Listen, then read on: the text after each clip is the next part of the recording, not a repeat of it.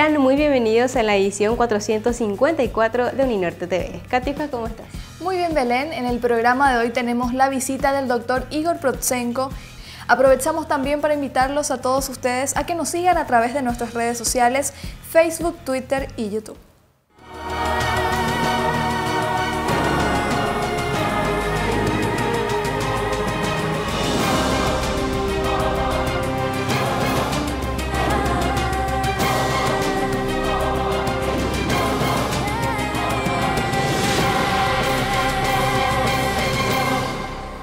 Hace unos días se realizó la presentación de la obra teatral Soledad, Vida y Muerte de una poeta del doctor Alain Sansons. Se trata de la adaptación de la novela El invierno de Gunther de Juan Manuel Marcos con tres de sus personajes principales. Se refirieron a la obra Lourdes Ríos, quien habló de los indudables méritos del dramaturgo Alain Sansons, quien publicó cuatro dramas basados en la historia del Paraguay. Además, autor de varios artículos relacionados con la novela, se animó a teatralizar un texto tan difícil y tan importante. Slobodan Pajovich, autor de Postfacio, expresó que la teatralización de una parte de la novela de Marcos quedó muy bien lograda y que pese a que él considera que su participación es más bien simbólica, se siente muy orgullosa de ella.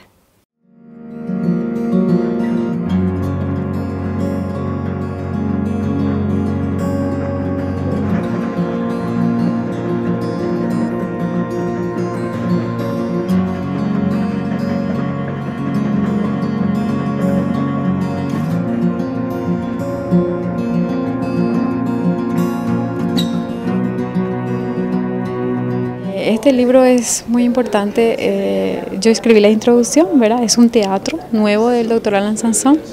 Se llama Soledad. Soledad es una adaptación y recreación de la novela del invierno de Gunther, ¿verdad? Y que hace más énfasis eh, sobre la dictadura en esa época en Paraguay. Con esta obra de Soledad y las demás anteriores, él está demostrando que es un dramaturgo capaz, ¿verdad? Es hora de que los directores paraguayos de teatro ¿verdad? piensen también en las obras eh, hechas aquí en Paraguay y que tengan relación con nuestra historia. La lucha del poeta dentro de la dictadura es importantísima porque el amor canta a través de los versos que son reflejo de almas nobles, deseosas de ser libres y vivir libremente. Gracias.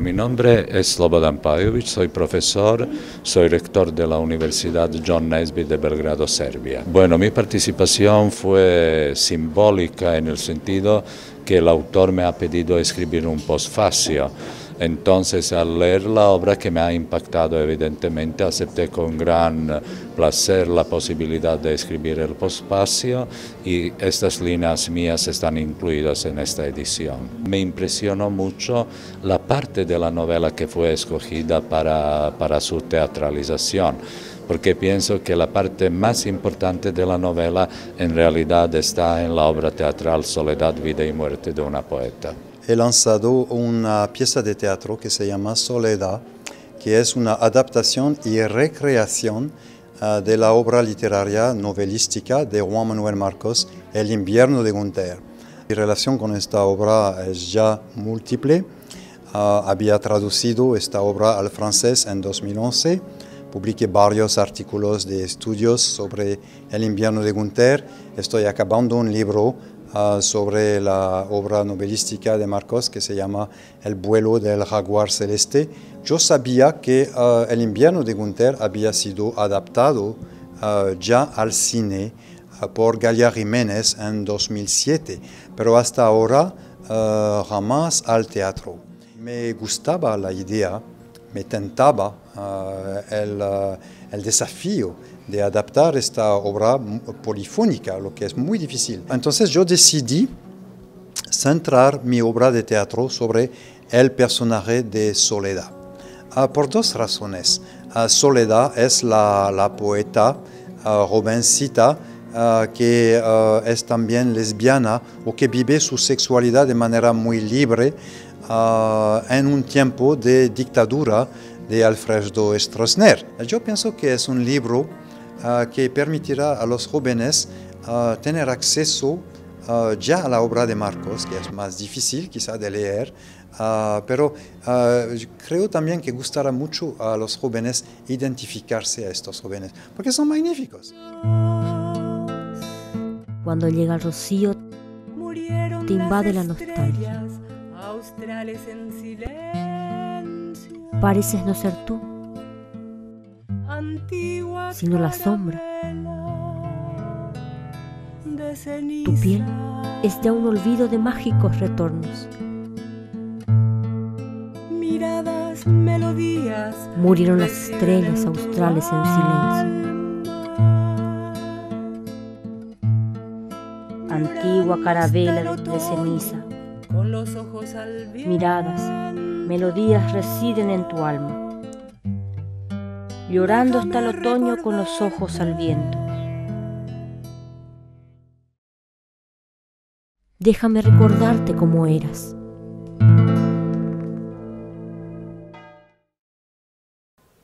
Hasta Ciudad del Este se desplazó la plana mayor de autoridades de la Universidad del Norte para entregar los títulos a los egresados de las diferentes carreras de la comunitaria de la mencionada ciudad.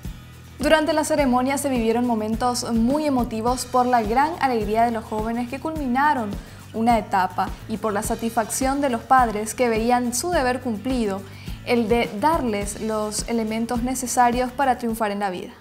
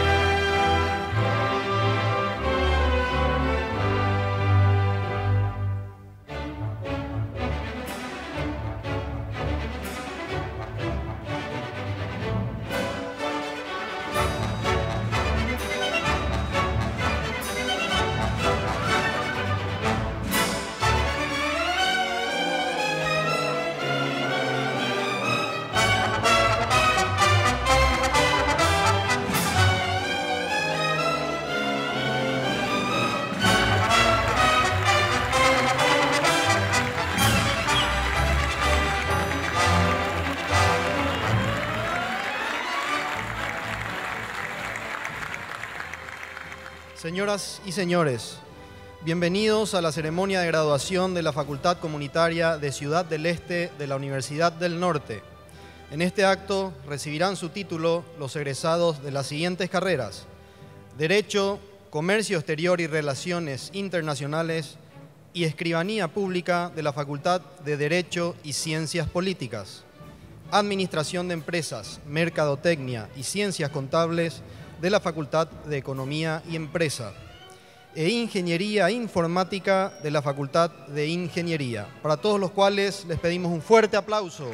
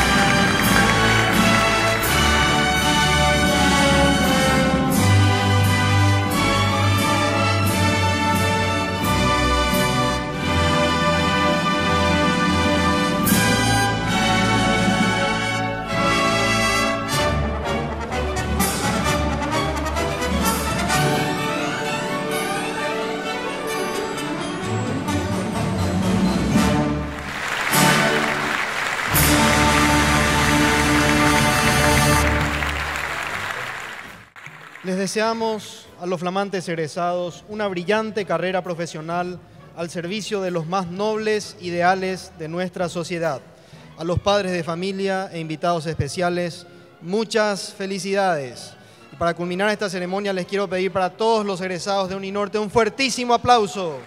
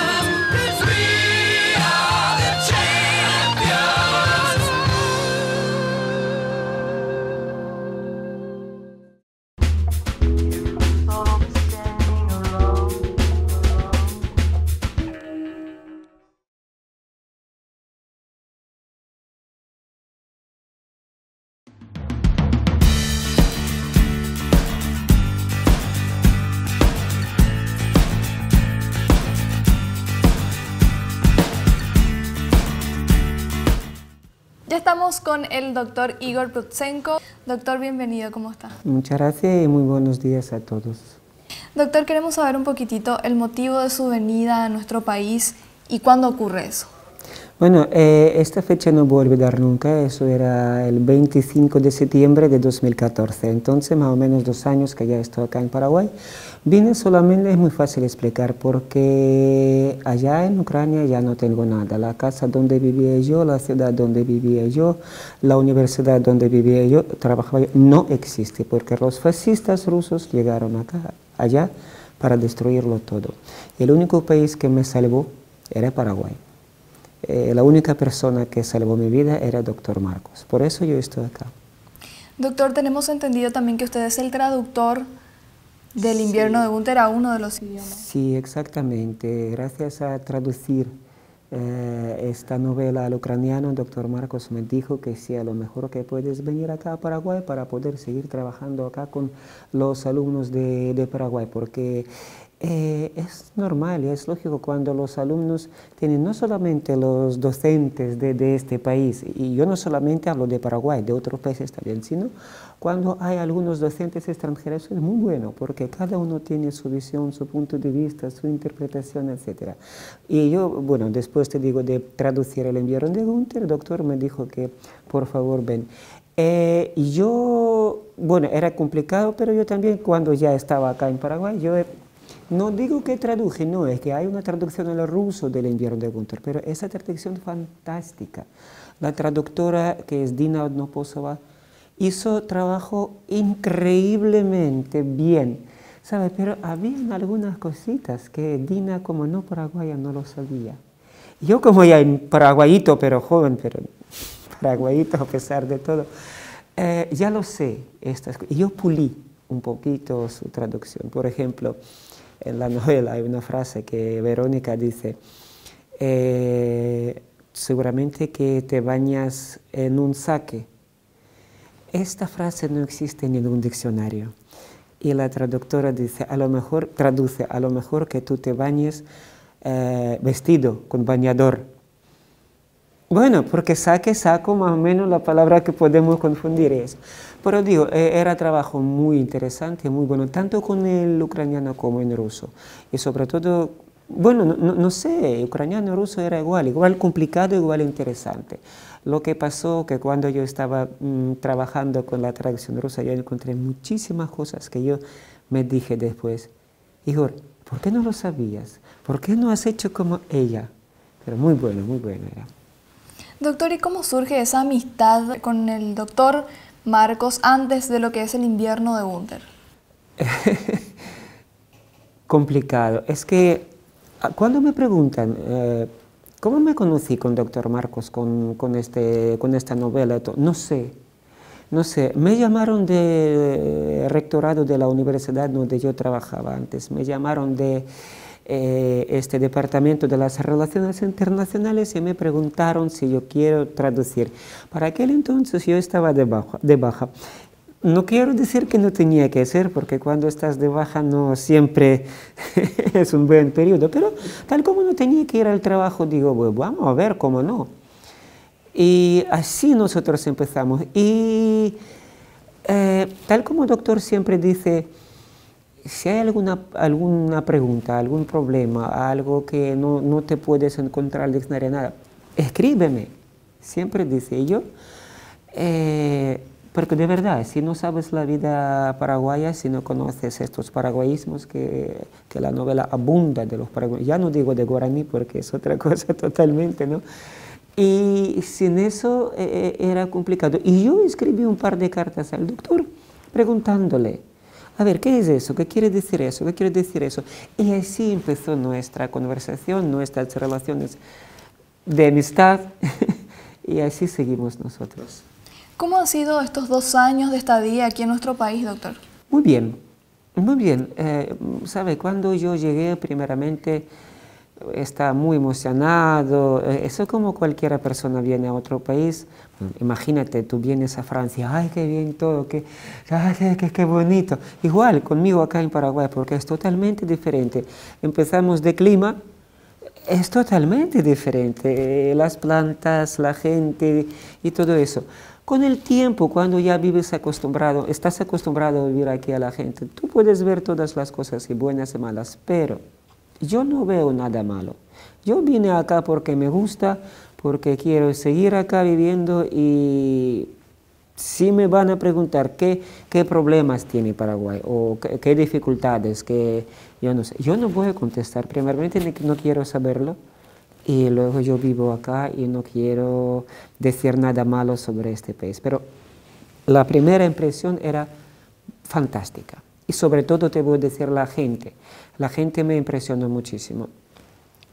Pues primeramente la gente de la Uninorte que me estaban cuidando, me estaban explicando todo, todo, todo. Yo estoy en la Facultad de Educación, uh, comparto las clases que nosotros damos con Profelita, y con Beatriz Bocio y con doctor Marcos también, por supuesto, y eso es lo que me encanta, porque y nosotros, profes, estamos acá para enseñarles todo. Y a mí me encanta enseñar a los alumnos que a mí me encanta contar lo que sé yo, y lo que tienen que saber otras personas. Es, no sé, yo ahora, por ejemplo, está acá en Paraguay ah, aprendiendo, absorbando la tradición, las costumbres de, de Paraguay, de, de, de, la lengua de Paraguay, de todo eso. No puedes imaginar cómo yo quiero contar sobre eso en otros países del mundo, porque eso es muy bueno. Incluso cuando estuve en Perú, estaba hablando de, de Paraguay, porque la gente, por desgracia, no sabe nada de Paraguay, incluso acá en América Latina. Doctor, usted siempre habla de los paraguayismos. Ah, sí, claro. Eso sí. Eh, ¿Sabe? Mi carrera principal de este, eh, investigación es totalmente diferente. Eh, mi carrera principal es el léxico sacral, la semántica histórica de este léxico, eso quiero decir que yo investigo, por ejemplo, la palabra templum, templo, acá en español, ¿verdad? Que esta palabra apareció hace mucho tiempo con, el significado hoguera o algo cortado. Y con el tiempo pasó, a latín pasó el templum como ya el edificio este, sacral, ¿verdad? Y luego en algunas lenguas eh, romances también hay unos cambios. Pero bueno, eso ya de momento dejé aparte porque me encantó muchísimo y me gustó esta lengua española eh, de Paraguay. Yo estoy preparando ahora eh, una monografía científica. ¿Sabe qué pasa, Katiuska? Es que monografía acá y monografía allá es un poco diferente. Monografía acá puede ser algo de la lectura para todo el mundo ¿verdad? Pero monografía allá significa que en la base de, monografía puedes defender otra tesis doctoral. Por eso, eso tiene que tener nivel científico. Ahora yo preparo esta monografía nueva de los paraguayismos. Yo he clasificado, ¿sabes? Yo encontré algunos libritos sobre paraguayismos, pero se trata de las cosas que parecen muy fáciles. Yo clasifiqué qué son paraguayismos, porque eh, y, en realidad, si yo voy preguntando a la gente qué es paraguayismo, nada, muy poca persona que me van a contestar. Yo les digo que hay paraguayismos en la base de castellano, paraguayismos en la base de guaraní. Bueno, esa famosa mezcla que se llama yopará también son paraguayismos lo típico de, de, de, este país. Y a mí me encanta. Pero yo me refiero de los préstamos en primer lugar de quechua. Eso también puede ser, este, esta parte de mi investigación también puede ser bastante útil para los paraguayos, porque eh, el miércoles tenía que sustituir la clase de morfosintáctica de doctor Alonso, y bueno, hemos tocado un poquito este tema, y yo digo a, a los chicos, esos son préstamos de quechua, y me preguntan, ¿y qué es quechua? Bueno, yo, esta famosa palabra chipa, digo, es de quechua. Ellos se pusieron muy enfadados porque están pensando que chipa es, o chipa, es, típico, típico paraguayo, lo que le gusta a todo el mundo, pero eh, ¿cómo es de quechua? ¿Cómo puede, puede ser eso? O esta famosa palabra cancha, cancha de fútbol, digo, pues, cancha es de quechua porque significa una llanura y ahora se ha cambiado un poquito su significado es, ¡ay, no puede ser! E, eso, eso es nuestro. Pero bueno, estoy hablando sobre eso. También, también yo estoy mostrando que hay algunas palabras conocidas para españolas, conocidas para todo el mundo, pero que acá justamente en Paraguay tienen otro significado. Eh, en primer lugar, yo me refiero a la palabra pieza. Es que si tú preguntas a un español, la pieza que es, bueno, es una parte de, de, alguna cosita, ¿verdad? Incluso eso puede ser una obra teatral. Y acá pieza significa o dormitorio o la habitación y eso es muy interesante. Más, un famoso ejemplo, yo cuando llegué, estoy, me, me llama una colega nuestra, dice, Igor, mira, te voy a enviar un móvil y después la, la, la. Eh, viene un coche, como yo estoy acostumbrado a nombrar esta cosa, ¿verdad? Viene un coche con el chofer, yo estoy hablando con el chofer y me dice, pues vamos. Digo, no, yo estoy esperando el móvil. Y me dice, ¿y eso qué es? Es que acá en Paraguay móvil es el teléfono celular, ¿verdad? Pero en España móvil es teléfono celular. Y yo estoy esperando que me manden un teléfono celular. Pero muchas como estas yo estoy explicando, creo que eso puede ser también interesantísimo. ¿no? Y como para la gente de allá, de Europa, de, de América Latina, tanto para la gente de Paraguay, porque no todos lo saben. Doctor, ¿podría hablarnos un poco acerca del viaje a Perú, que ya estuvimos hablando con usted en la radio, pero queremos ahora para Uninorte TV que nos dé esos detalles? Sí, eh, el Perú era el viaje bastante, bastante divertido en todos sentidos. Me invitaron, bueno, yo, escribí a todas las universidades que me enviaron la invitación para participar en eh, algunos eventos lingüísticos. Bueno, y de Perú me contestaron que por favor, que Igor Ben, eh, hace dos semanas allá en Perú, en Lima, en la Universidad de Piura, es la más grande universidad privada eh, de, Perú, organizaron el undécimo Congreso Internacional de Lingüística que tenía nombre Lingüística y Poética. Yo propuse al principio dos ponencias, como loco siempre. ¿Para qué proponer dos que si puedo solamente con una? La primera ponencia que yo quería mostrar eh, paraguayismos, y la nombré como paraguayismos en, en, la novela de Juan Manuel Marcos, El invierno de Gunther, porque hay muchos ejemplos. Y otra, mm, mi ponencia tenía que ser eh, post-boom, y el invierno de Gunther de punto de vista de postboom. Pero me han dicho, digo, vamos a empezar primeramente con lingüística porque vino muchísima gente. Eso de verdad era un evento súper prestigioso. Vinieron el eh, este jefe de la Academia de Lengua Española de Perú, vinieron el director de Academia de Letras de Uruguay. Bueno, todos los doctores famosísimos de, de, de, de la, mismo Perú, de esta universidad, vinieron la gente de México, de España, de Estados Unidos, eh, eh, representación era muy buena. Y empezamos a hablar, el primer día estaba contando, como digo yo, los dioses, bueno, es tema de ellos. No voy a analizar nada porque a veces me, yo tengo muchas preguntas a lo que están diciendo los, los sabes, que ya son así. Pero eh, otro día yo em, tenía que empezar mi sesión y ¿sabe qué pasó, Katiushka?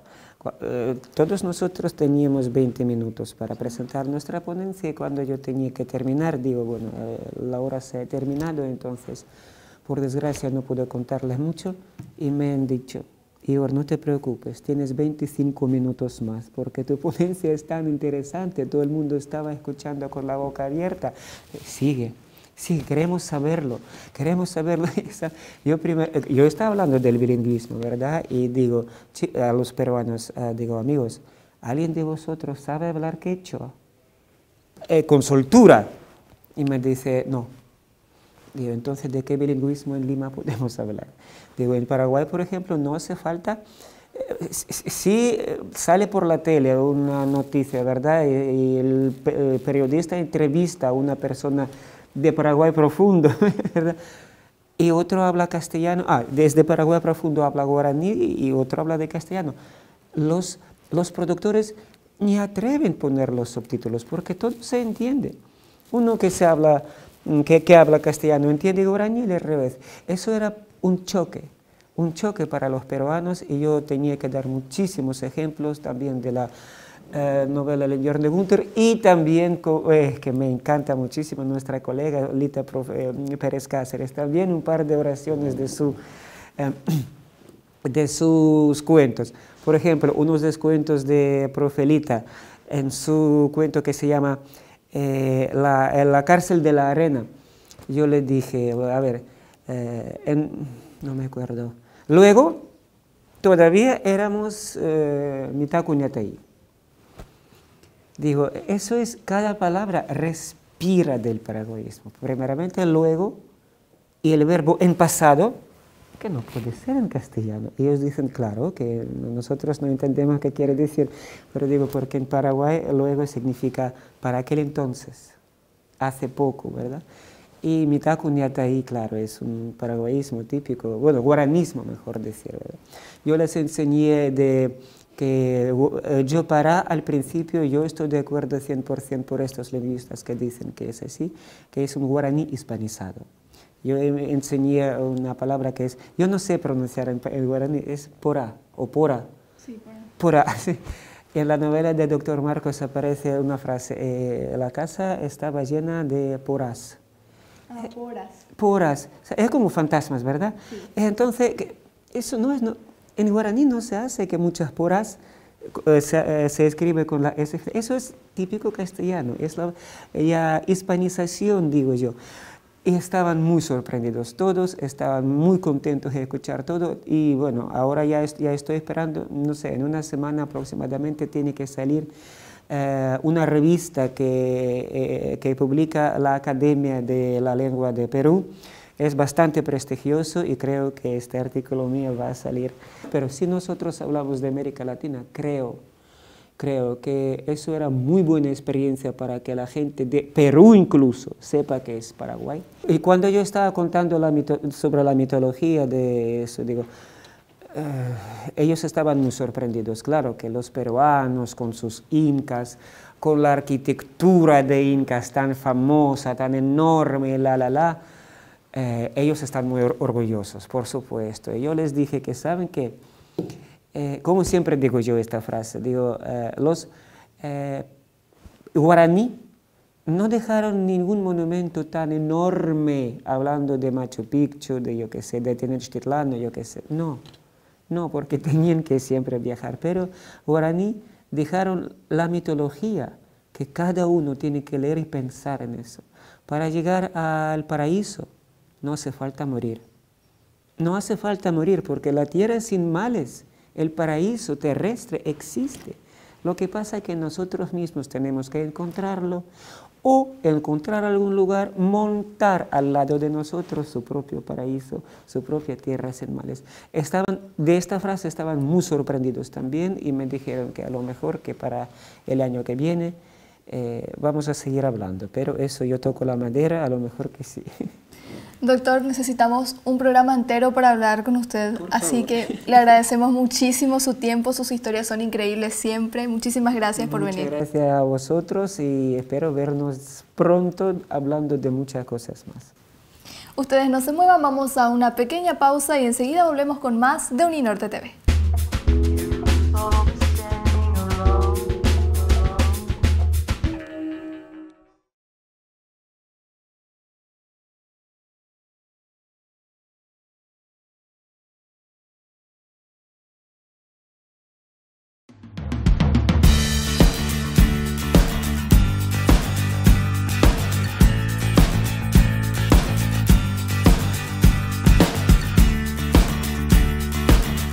La novela El invierno de Gunther ha llamado mucho la atención no solamente por su estilo, sino también por su estructura muy avanzada. En este segmento, donde recordamos todos los acontecimientos más importantes ocurridos en la Universidad del Norte, los invitamos a revivir la presentación del análisis dialógico de la novela.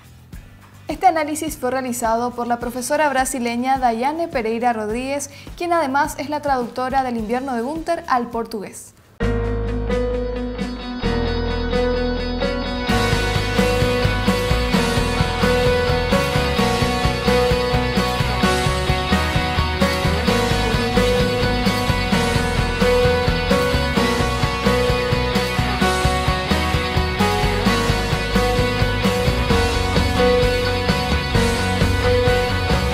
Universidad del Norte, 25 años de calidad, ciencia y cultura.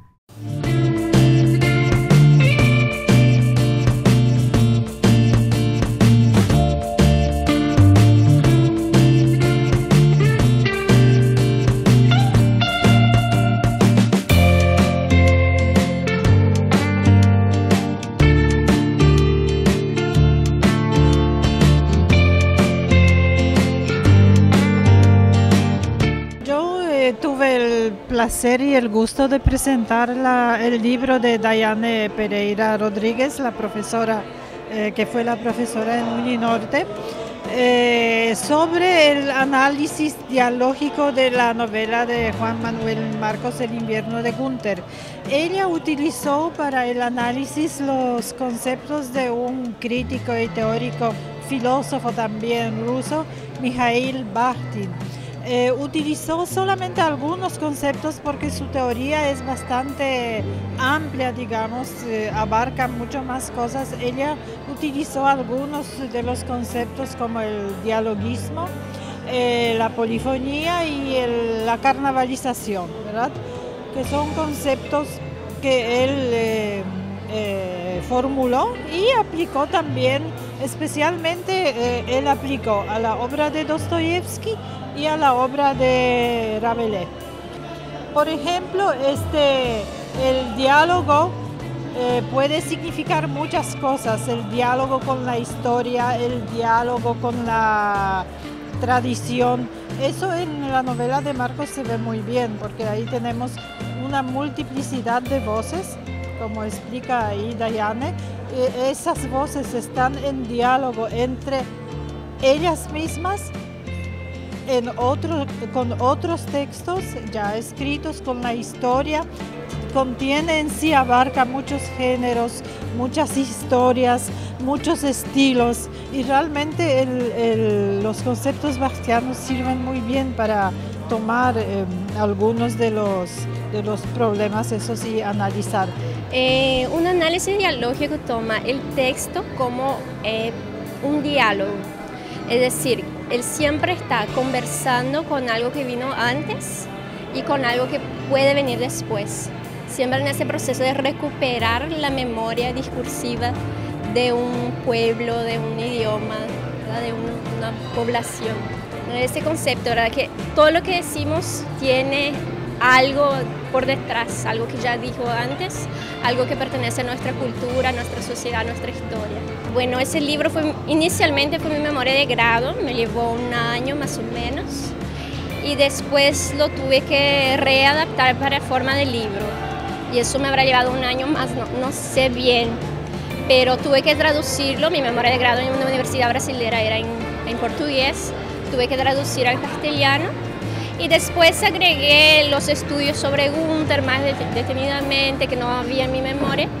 Y también agregué el análisis del poema, ¿verdad? para ejemplificar los conceptos. Y yo creo que en total me llevó dos años todo ese proceso de traducción y reescritura. La novela El invierno de Gunther al principio es una novela bastante complicada y hay que saber leerlo. Y solamente los teóricos de literatura, los lingüistas pueden explicar no quiero decir explicar qué, qué, pensaba en este momento, doctor, no, pero quiero explicar cómo trabajar con esta lengua, de dónde hay que empezar a entender, a leerlo y entender. Y eso es muy importante, lo que estamos eh, intentando por lo menos hacerlo nosotros hoy día.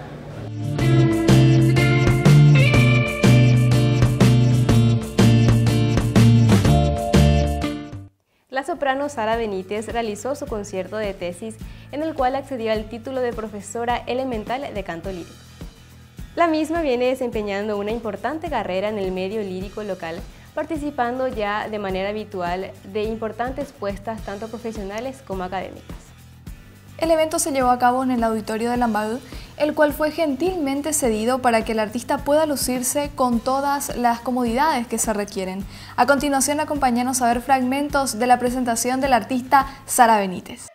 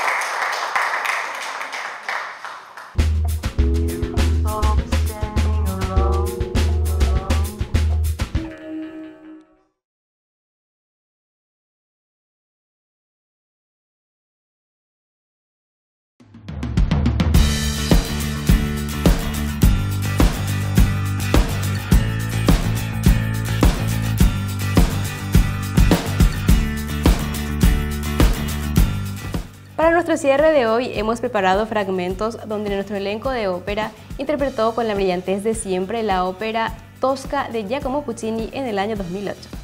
En esta oportunidad también integró el elenco, pero sin cantar, el embajador de los Estados Unidos, Keyson, quien se encontraba estudiando canto. Tosca es una obra dramática contra la opresión y a favor de la libertad. Nos encontramos nuevamente el sábado puntualmente a las 11 por PTV. Hasta la próxima.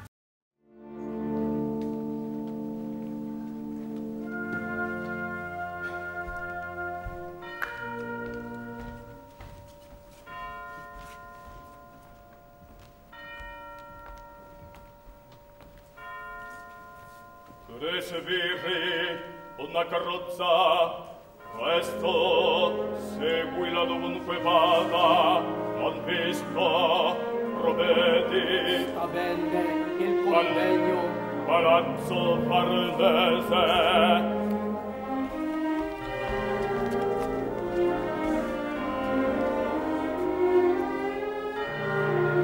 Ah!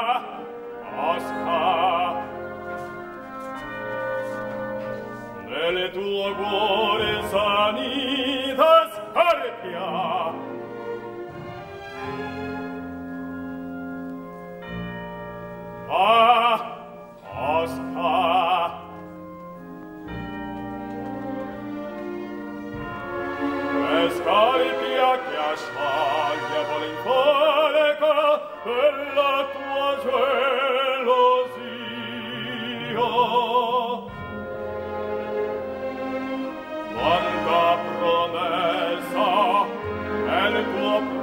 pronto aspetta.